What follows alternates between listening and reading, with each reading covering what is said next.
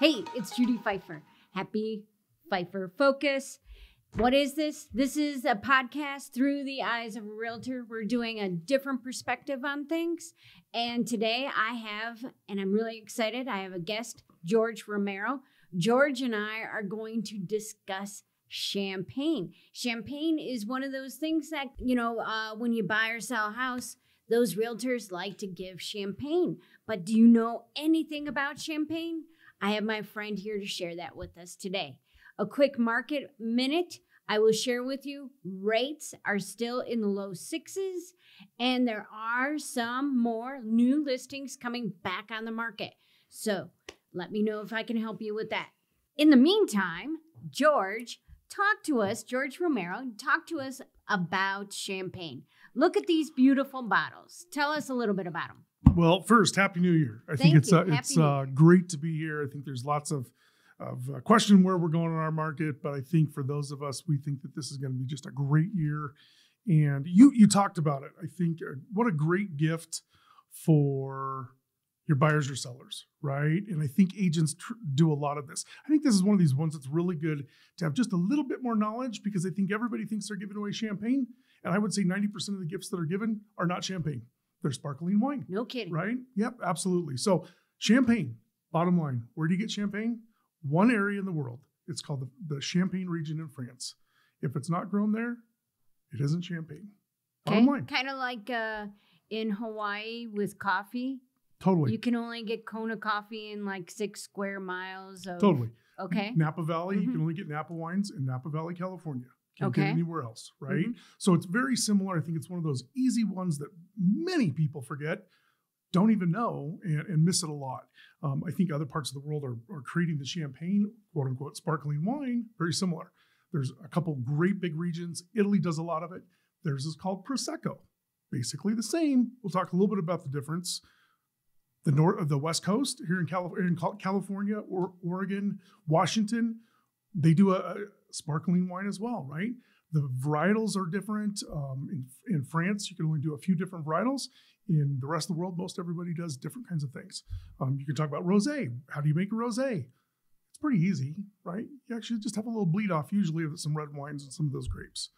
So what do you have here? So we got a couple different things. We got we got a, a Spanish cava, which is is made traditional. It is very much a sparkling wine. We've got one here that's that is French. That is one of my favorites. I've had for about 25 years. It's a Krug champagne. It kind of goes right up there in the world of the Bollingers and and uh, uh, Dom Perignons. Um, we also have. No, go ahead. You have a Okay, so here, I- so this is sparkling wine.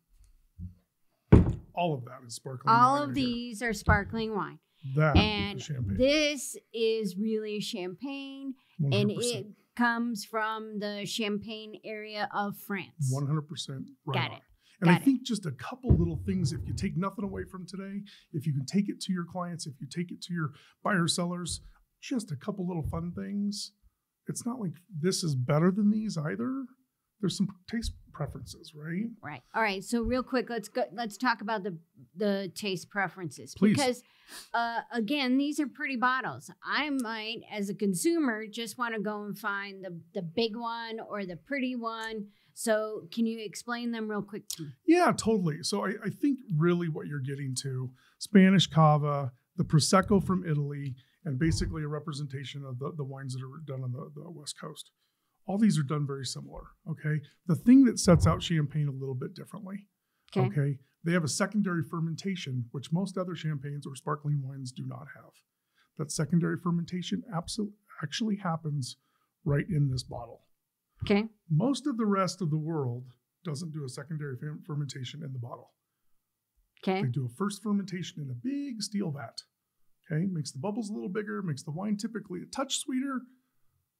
That's why this usually costs more. There's Okay. a there's a lot Two of fermentation process. two fermentation process and lots of labor to make that second. So the way that this ends up getting is they put it into what they call a riddling rack, and it's up at a degree like this. And every so many days, a, a gentleman or a young lady come around and twist it about an eighth of a turn, Wow. eighth of a turn, and there's racks and racks and racks and racks of them. That's a pretty tedious job. Totally, this never Mhm. hap- That never happens in these, Okay. right? Doesn't happen. So these just are prepared, and then put in the bottle. Put in the bottle. There's And nothing else that's out the done door out the go. door in the in the shipper uh, in, Okay. in our houses. This one will sit in the in the cellars for a long time. It just kind of depends. Like this one probably sat in the cellar for two or three years. Okay. ever came out. All right. Yeah. All right. Any any other differences?